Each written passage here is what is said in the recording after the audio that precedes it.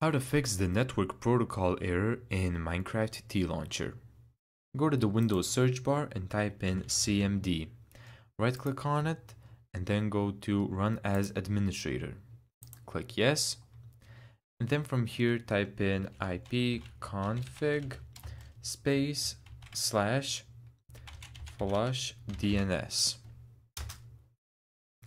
From here type in ipconfig space slash renew click enter and then type in net sh win sock reset click enter. And here it says you must fully restart the computer in order to complete the reset. So type in exit enter and then reset your computer. If that doesn't work there's also a second method. Now we have to go to the control panel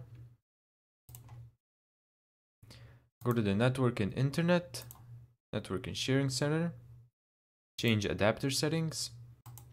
Let's right click on the ethernet, go to properties, double click on IPv4. In the uh, bottom section here, click use the following DNS server addresses. Go 8888, then in the bottom 8844. Click OK. Thank you so much for watching this video. If you found this tutorial helpful, make sure to give it a thumbs up and subscribe. And as always, see you in the next video.